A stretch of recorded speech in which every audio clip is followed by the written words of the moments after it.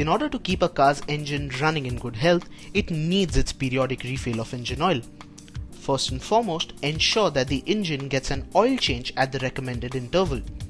To know the recommended interval and the recommended grade, please check your owner's manual. Second, check the level of engine oil in the car. Check for the link in the description below to know how to check the level.